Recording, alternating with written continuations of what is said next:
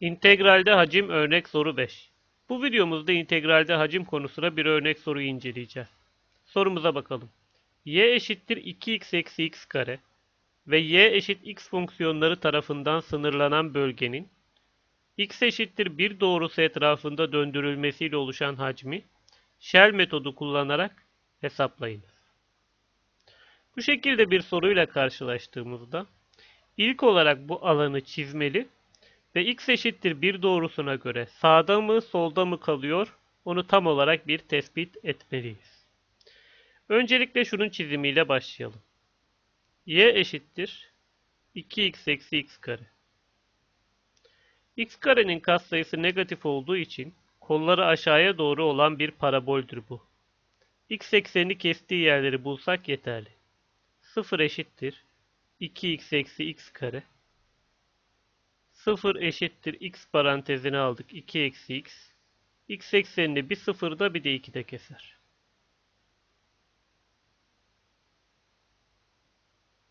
Bir parabolün grafiğini çizerken x eksenini kestiği yerleri bulup bu şekilde x ve x karelisi, sabiti x'li x karelisi bulunanlarda x eksenini kestiği yerleri ve kollarının yönünü kullanmak yeterlidir hacim ve alan sorularında. 0 ve 2'de kesiyor x eksenini.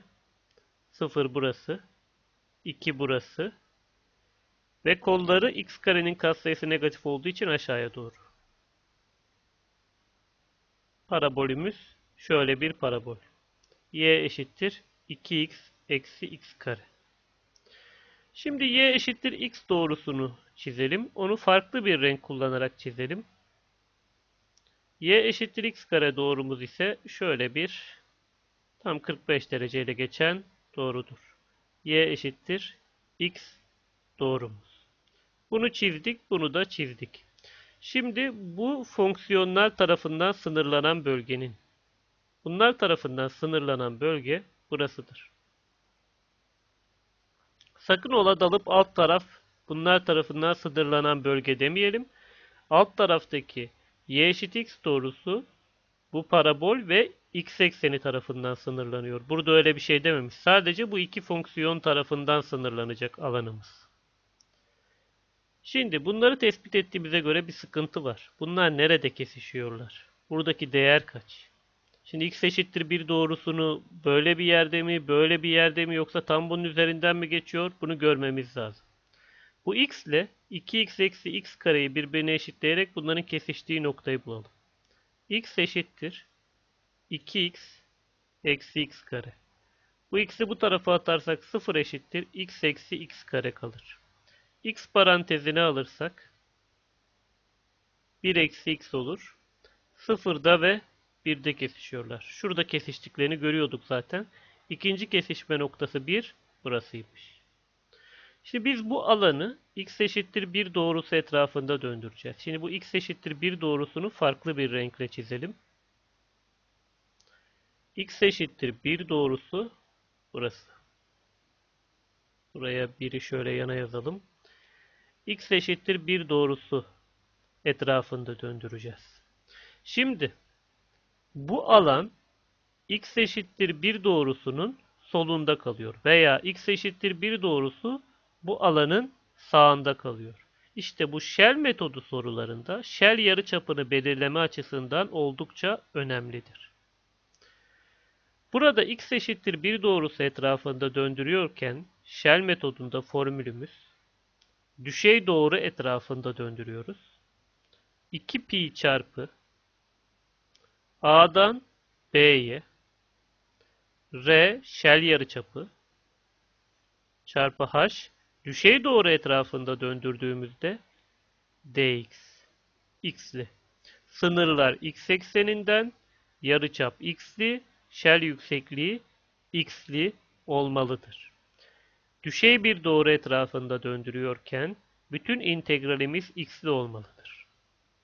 Şimdi bu integraldeki doldurulması gereken noktalara gelelim. 2 pi çarpı alanımızın sınırları sıfırdan 1'e kadar. X ekseninden alıyoruz sınırları. düşey doğru etrafında döndürüyorken sınırlar x ekseninde. Shell yarıçapına gelirsek en önemli nokta burasıdır. Eğer ki alan doğrunun solunda ise Shell yarıçapı 1 eksi x olacak. Eğer ki bu x eşittir 1 doğrusu değil de bu tarafta bir doğru olsaydı, alanın solunda olsaydı, burada x'ten bu doğrunun değerini çıkartacaktık. Tam olarak bunu öğrenmek isteyenler konu anlatım videosunda bu iki çeşidin ayrı ayrı örneklerinin olduğu ve kurallarının olduğu videoyu izlemeliler. Burada shell yarıçapımız 1 eksi x. Eğer ki düşey doğru alanımızın sağındaysa bu düşey doğrudaki buradaki bir değerinden burası 2 olsaydı 2'den x çıkartıyoruz. Bu x sabit. Bu değer neyse o çıkartılıyor. Shell yarıçapımızı belirledik 1 eksi x. Düşey doğru etrafında döndürürken shell yüksekliği. Bu her zaman için şu şekilde. Üstteki alanın üst sınır fonksiyonu nedir bu? y eşittir 2x eksi x kare. 2x eksi x kareden alanın alt sınır fonksiyonunu çıkartacağız.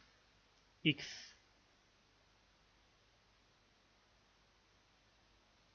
Buradan bu işlemi yaparsak eksi x kare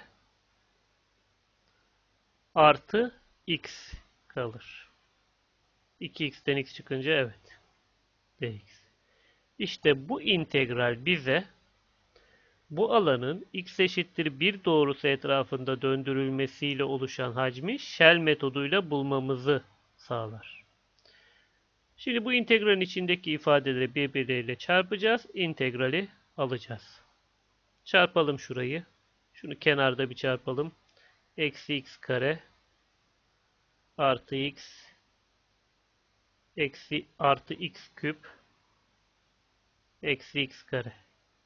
Şu integralin içine düzgünce yazalım. Sıfırdan 1'e x küp eksi 2x kare artı x dx.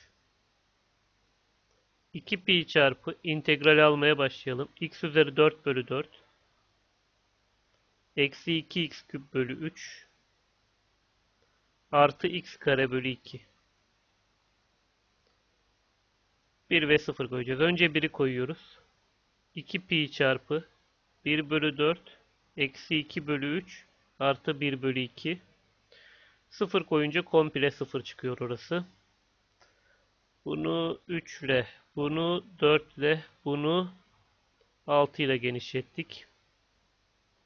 3 bölü 12, 9 bölü 12, 8 bölü 12 çıkartırsak 1 bölü 12. 2 pi çarpı 1 bölü 12. Şu 2 ile de sadeleştirirsek onu. Pi bölü 6 olarak bu soruda sorulan hacmi bulmuş oluruz. Bu videomuzu burada noktalıyoruz.